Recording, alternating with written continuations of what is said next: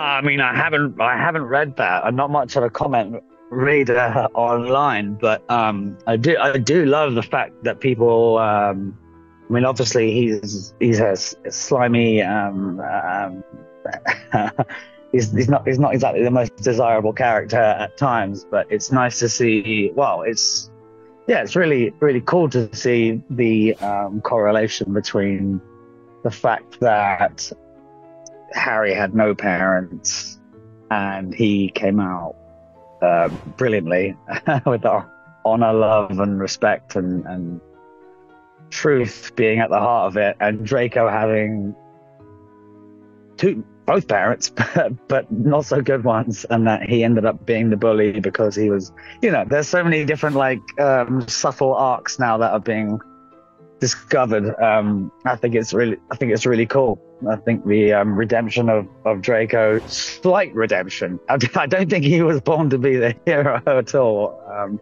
but the slight understanding that he was a bully because he was basically bullied. Um, I think it's really, yeah, it's quite cool.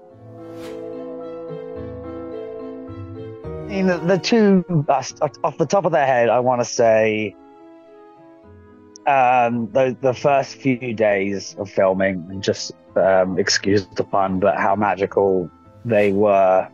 Um, again, completely not knowing that this was going to be something I'll be talking about in 25 years' time.